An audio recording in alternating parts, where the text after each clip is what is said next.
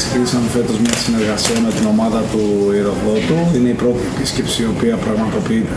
στα πλαίσια αυτής της ε, συνεργασίας. Ε, αυτό που προσπαθούμε πάντα με όλες τις ομάδες ε, που ανήκουν στο δίκτυο της Ακαδημίας της ΑΕΚ ε, είναι να ελέγχουμε πρώτα απ' όλα το περιβάλλον το οποίο υπάρχει ε, το οποίο σίγουρα είναι εγκαταστάσεις, είναι το υλικό, αλλά το μεγαλύτερο το μείζον είναι οι άνθρωποι οι οποίοι περικλείουν το περιβάλλον και πραγματικά οι άνθρωποι οι οποίοι απαρτίζουν είτε διοικητικά είτε προπονητικά την ομάδα του Ηροδότου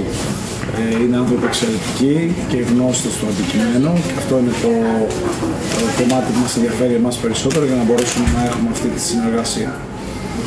και αυτές τις ημέρες, ε, δύο μέρες δουλέψατε εδώ, είδατε πολλά παιδιά, ε, είναι σίγουρα στόχος και να αξιοποιηθούν τα παιδιά και να γίνουν και περισσότερα. Ο βασικός μας στόχος και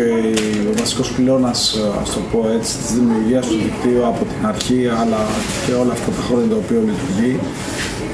είναι να υπάρχει ένα κομμάτι συνεκπαίδευσης και να κάνουμε ό,τι μπορούμε δυνατότερο και καλύτερο έτσι ώστε τα παιδιά τα οποία είναι μέσα στον αθλητισμό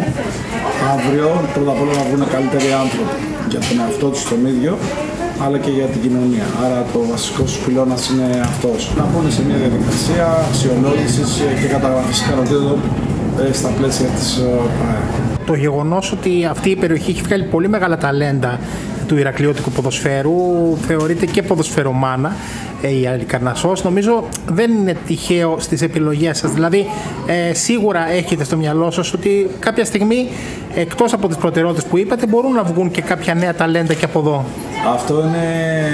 ευχή για, και για εσάς, για εδώ, για την όμορφη Κρήτη και για την περιοχή της Αλικαρνασσού, αλλά και σίγουρα για, όλα τα, για όλη την Ελλάδα. Μακάρι στην πορεία να βρεθούν τα, τα παιδιά αυτά τα οποία θα αναπτυχθούν έτσι ώστε να μπορούν να τα δούμε να παίζουν σε υψηλό επίπεδο στην ΑΕΚ.